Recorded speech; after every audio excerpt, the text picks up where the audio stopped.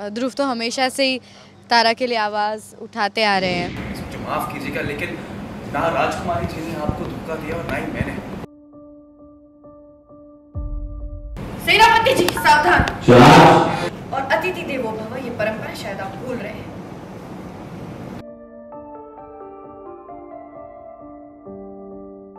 राजकुमारी सही कह रही है महाराज।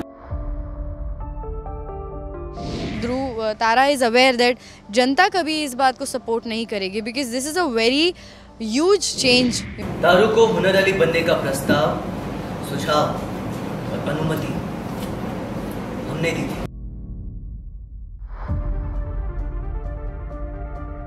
सामाजिक न्याय प्रकृति ने स्त्री और पुरुष को अलग अलग बनाया है। पुरुष को बलवान बनाया है ताकि वो सुरक्षा कर सके।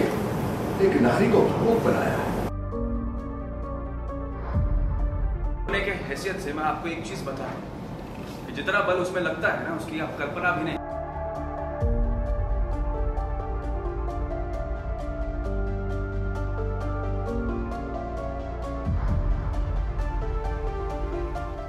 चिकित्सक महोदय का सहायक करने की अनुमति दे खुश लोग आप लोग खुश।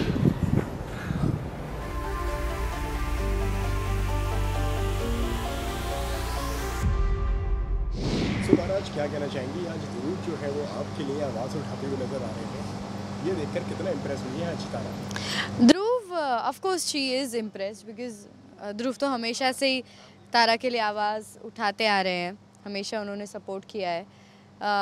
सो या so yeah, uh, और भाई जी का भी सपोर्ट है। अभी मित- माताश्री का भी है लेकिन थोड़ी सी दुविधा है ही ऑब्वियसली कि Dhruv Tara is aware that जनता कभी इस बात को सपोर्ट नहीं करेगी। Because this is a very huge change you know for सत्रहवीं सदी की एक औरत चिकित्सक बनेगी।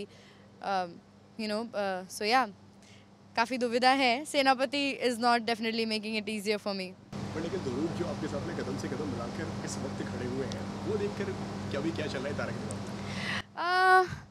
obviously that's how the bond grows and इसी इन्हीं चीज़ों की वजह से I am sure Tara is following in love with Dhruv because feelings तो आ गई है. There is a little jealousy you know जब पता चला था कि ध्रुव किसी को पसंद करता है तो तारा felt something so yeah a very cute bond and जैसे ही ध्रुव का सपोर्ट मिलता है तो तारा को एक एक फीलिंग होती है कि no someone is there and yeah क्या लगता है कि तारा का अगला नियम क्या, अगला स्टेप क्या होने वाला है? क्योंकि दूसरी तरफ़ जो है, जो सेनापति जो है, वो पूरी कोशिश कर रहे हैं कि ध्रुव को नीचे दिखाने के लिए और तारा को हराने के लिए।